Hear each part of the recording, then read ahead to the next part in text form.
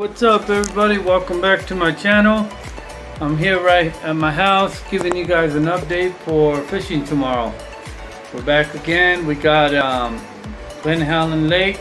We're going to be hitting that up about say 6 in the morning. About 6.30 in the morning maybe. Because it don't open until 7.30. But um, we're going to try to go for catfish. They stocked it with 765 pounds of catfish.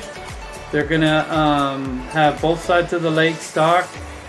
Actually, there's I think yeah, there's both sides of the lake, and then um, we're gonna try to catch. So let's see what happens. Well, I brought you guys along right now because I wanted to show you the the bait we're gonna be using. Well, first I'm gonna bring out the chicken.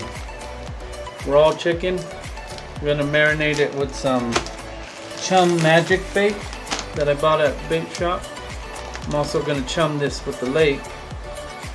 And then um, I went to the market right now and I got 15 things of shrimp, jumbo shrimp.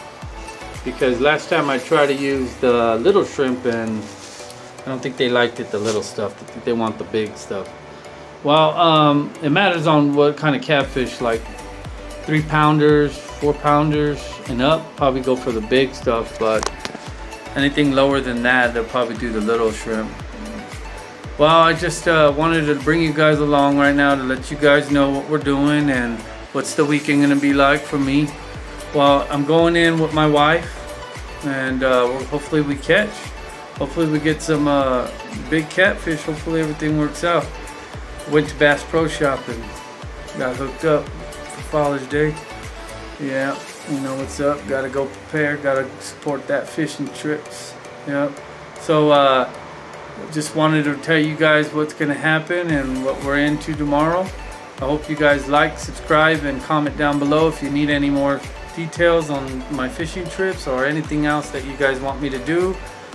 Alright then, Jesus loves you and we'll see you guys tomorrow. Have a blessed rest of your day.